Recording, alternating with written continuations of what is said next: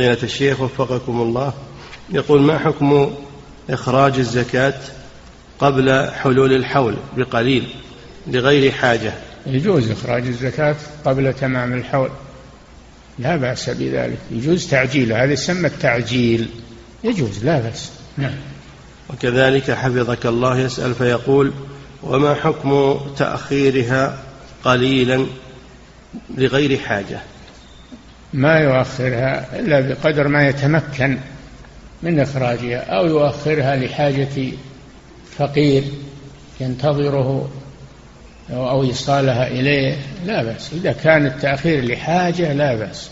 نعم.